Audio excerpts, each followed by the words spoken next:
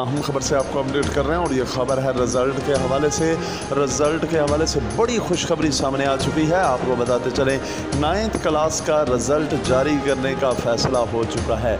19 सितंबर को पंजाब के तमाम बोर्ड्स में नाइन्थ क्लास का रिज़ल्ट जारी कर दिया जाएगा और किसी भी तालब इलम को किसी सूरत में फ़ेल नहीं किया जाएगा। ये फ़ैसला हो चुका है।